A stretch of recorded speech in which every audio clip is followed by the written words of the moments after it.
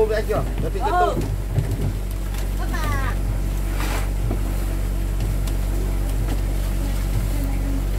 anh trưởng ơi đứng đây đấy cân nuôi anh trưởng ơi đi đường kia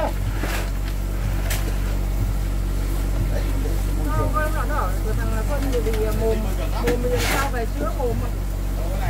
đâu hai lần rồi mồm mồm bốc mồm đâu